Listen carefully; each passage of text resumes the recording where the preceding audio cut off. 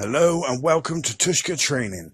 Uh, we already created a bullet hole tutorial, um, but that, that particular bullet hole didn't look particularly great on rock, concrete, brick.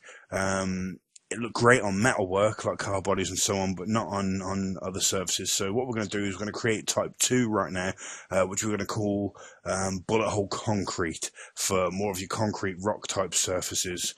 And the first one um, as you can see from the import composite shot here, I've actually called it bullet hole metal 256 when I saved it into my composite action elements folder. Um, which is a good idea to do for anybody. If you create an element like this, start building up your, your folders of elements. Um, I like to do it procedurally, but you can do it with images as well. That's that's all good. Um, hopefully, at some point, we'll get um, in this effects browser here, hopefully we'll get some kind of uh, element browser as well, so we can just have all our elements on tap, which would be great. Um, so anyway, first thing we're going to do to create this type 2 is we'll create a new composite shot. Uh, we're going to call this shot bullet hole underscore concrete underscore 256. Now I've got the 256 simply because I'm going to switch this out to custom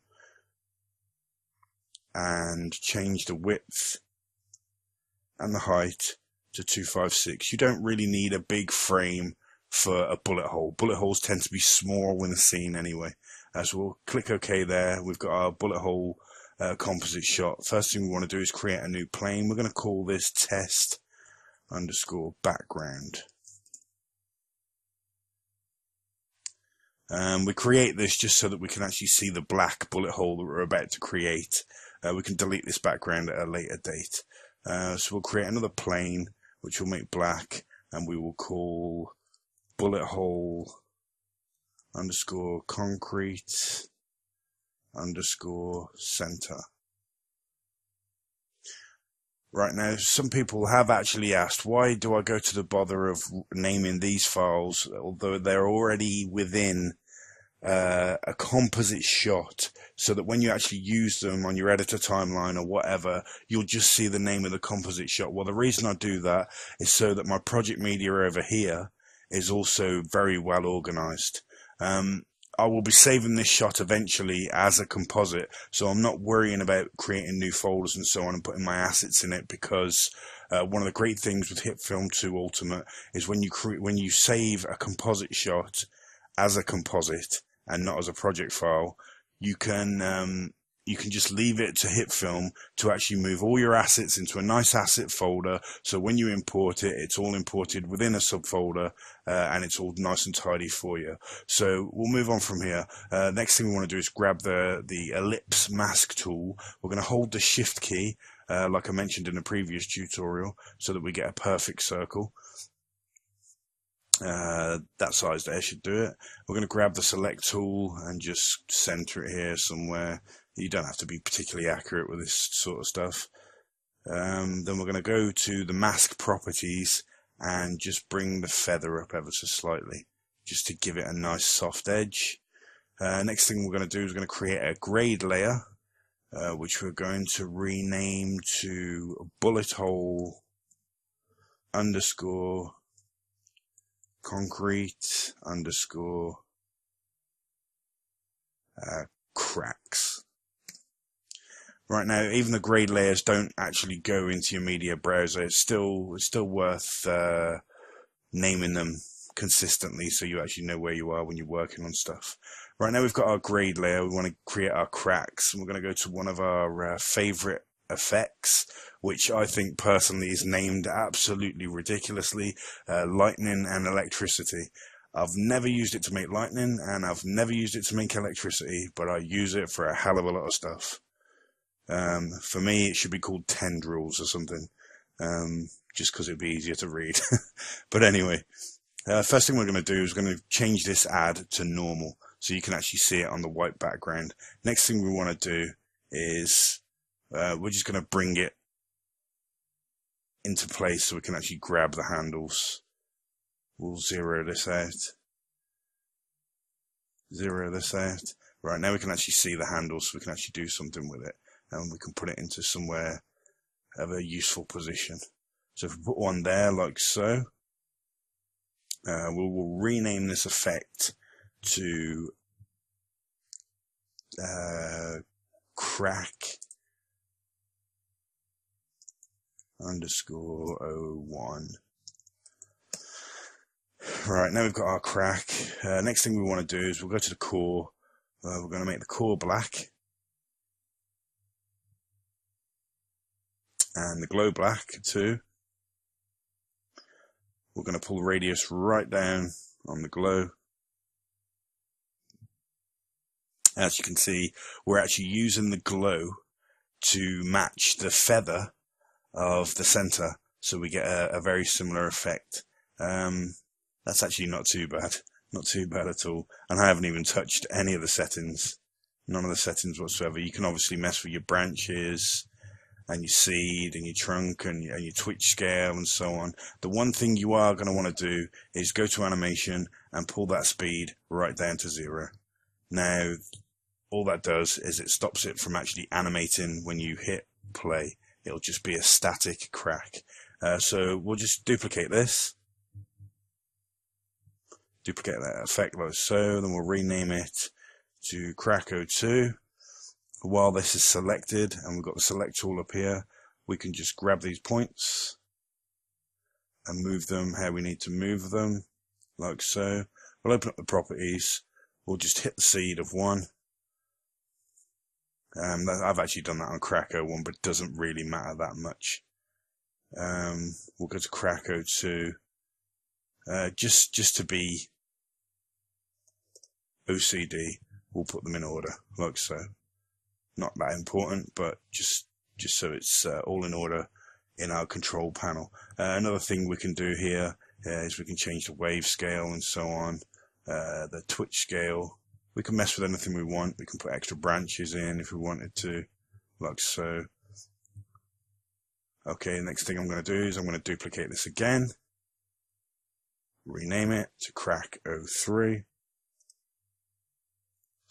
Open the transform controls up, seed that of 2, and then move this down like so. Now remember that I've got the select tool selected here so I can see these points. Uh, there's pretty much our finished bullet hole. Um, doesn't look much, but will be effective if we, uh, we're just going to turn the background off. You won't be able to see anything anymore, but we don't want this background to be in our main composite shot that we're going to composite the effects into. Uh, first thing I'm going to do, uh, just to show how useful it is, is I'm actually going to save this as a composite shot in my action elements folder, which I'm building up now. Again, these will be posted for everybody eventually. I'm going to call this bullet hole underscore metal underscore 256.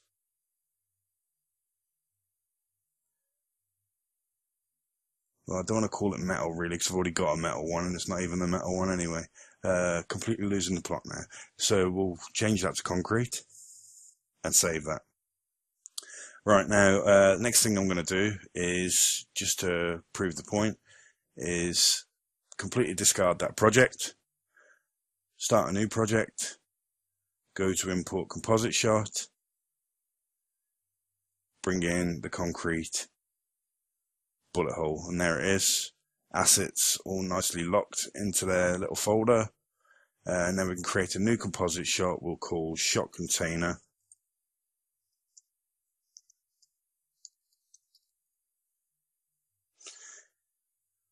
Certainly not with it today by the looks of things. Um, now, if you noticed, the last uh, composite I created was 256, 256. It was not what we want. We wanted 1080p, so we're just going to change that to 1080p. It'll automatically change the resolution for us. We'll hit OK. Um, we're going to import an image file. Um, we'll go to the classic we used the other day, which is the horrible picture of the wall. Um, the reason I'm using this shot, funnily enough, um, and I will show you another shot in a moment. In fact, I'll show you the shot now. Uh, is because of this place. This wall is actually connected to this place here. This place is a place up on Dartmoor because uh, we live in the southwest of England, down in Devon, and this is a place up on Dartmoor, and it's a very, very strange and weird building, just sitting in the middle of the moors. Uh, very, very weird place, as you can see, very large, and it's actually a shooting range. Um, so the photograph I'm using, uh, oddly enough, and fittingly enough, I suppose, is actually the side of a shooting range. So it's probably seen quite a few bullet holes in its time. Anyway, let's get back to the to the job in hand. We're just going to go to the transform tool quickly and pull the scale down a little bit, just so we got it full frame ish. Now, the next thing we want to do is want to drag our bullet hole composite shot over. As you can see, 256, 256 is perfect size because it gives you a lot of leeway to actually shrink it down. When I created this earlier, I found that 25% was kind of nice looking. As you can see there. The usual tactics apply. Duplicate. Move. Duplicate. Move and so on and so forth. And to get your time in, you can just move these ever so slightly.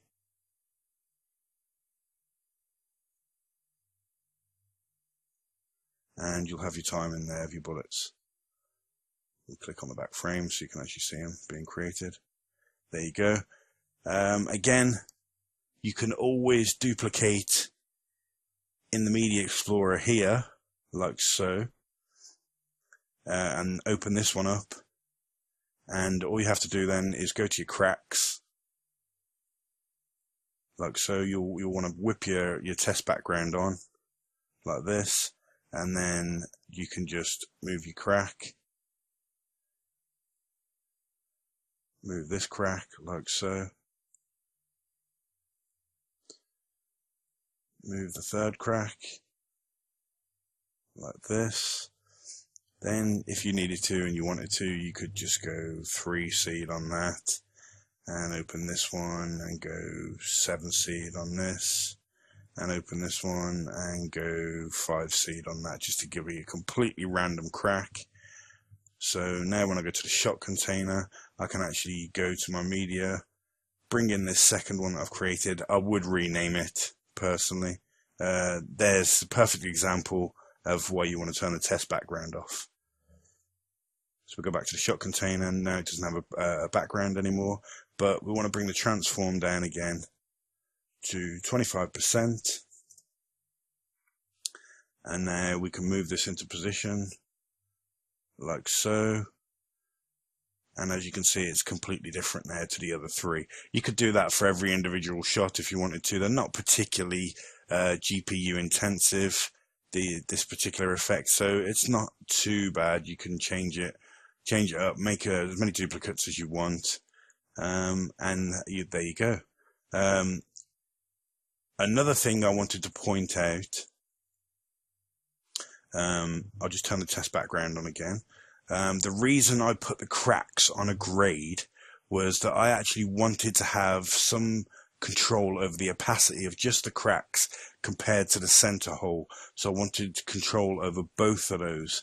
So I'm going to bring the opacity down quite a bit on the original shot, on the original composite.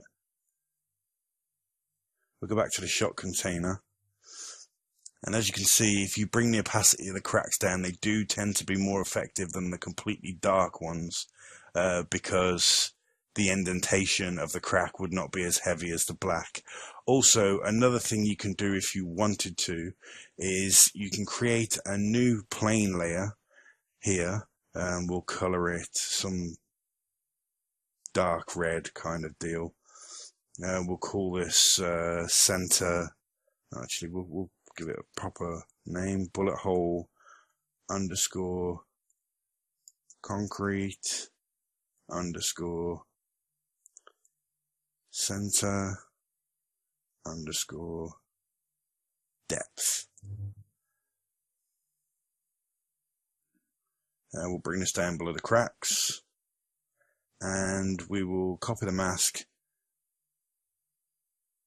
from the original center straight onto that. So it's actually overlaid directly over the top now, as you can see. Um, you can see the cracks over these, but it's it's not uh, it's not that much of a, problem to be honest. Because what we're going to do is we're going to bring this now. Uh, we'll delete this point, and we'll just move this up here, something like this. Open up the mask properties. Uh, we'll maybe feather it a tiny bit more. Bring the expansion down a little bit. Not too much. And bring the opacity down.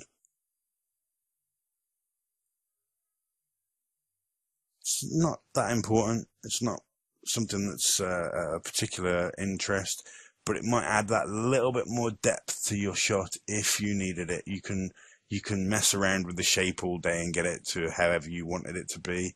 Um, it may add a little bit of depth to your shot. It may not. It's a very, very subtle effect. Very subtle effect. You can bring the opacity up if you want it to be a little less subtle. Um, but that's the bullet holes for concrete. I hope you enjoyed it and we'll see you on the next tutorial. Remember to hit subscribe if you want to see more.